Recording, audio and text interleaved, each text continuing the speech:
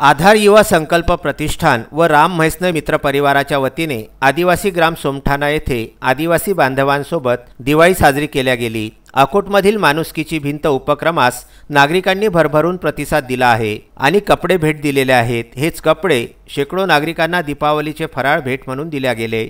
सोमठाणा गावकऱ्यांना माणुसकीच्या भिंतीच्या निमित्ताने आधार युवा संकल्प प्रतिष्ठानने आधार देण्याचा प्रयत्न या माध्यमातून केला. अशा प्रतिक्रिया अनेकांनी व्यक्त केल्या आहेत. अकोट शहरामध्ये माणुसकीची भिंत पाहून सामाजिक उपक्रम आधार युवा संकल्प प्रतिष्ठानचे अध्यक्ष राम म्हैसने यांनी सुरू केला आहे. या मदत केंद्र केंद्रामध्ये गोळा झालेली कपडे स्वच्छ धुवून व प्रेस करून ती गरजू नागरिकांना सोमठाणा येथे वितरित करण्यात आले.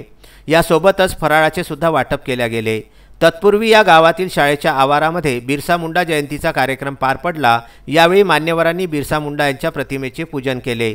त्यानंतर कपडे व फराळाचे वितरण करण्यात आले होते. या उपक्रमास अकोट शहराचे ठाणेदार संतोष महल्ले सहकार नेत्या भारती गावंडे ढमाळ गॅस सर्व्हिसचे सचिन ढमाळ भावना बेकरीचे भावना कासे स्वराज नवलकार यांनी सहकार्य केले. तर सरपंच प्रणाली बिजेकार पूजा पवार संजय बिजेकार मावजीलाल काजदेकर वैभव नायसे अश्विन हिंगरकर यांनी मदत केली. यावेळी आधार युवा संकल्प प्रतिष्ठानचे कार्यकर्ते जयदीप चऱ्हाटे उज्ज्वल ठाकरे अमोल काकड गणेश भारसाकळे शिवाजी सोनोने अक्षय रावणकार पवन सवरकर शुभम देशमुख शिवा म्हैसने गोपाल सावके ऋषिकेश गावंडे शिवम डोंबाळे हिमांशू म्हैसने अक्षय भावे प्रफुल्ल म्हैसने आशिष ठाकरे कपिल म्हैसने प्रफुल्ल गिरी विठ्ठल वसू प्रकाश कुटे ऋषिकेश म्हैसने सौरभ म्हैसने मोहन ठाकरे विशाल गावंडे सागर लापूरकर विशाल चौधरी गौरव सुरतने सौरभ सुरतने उज्ज्वल भास्कर रोहित भास्कर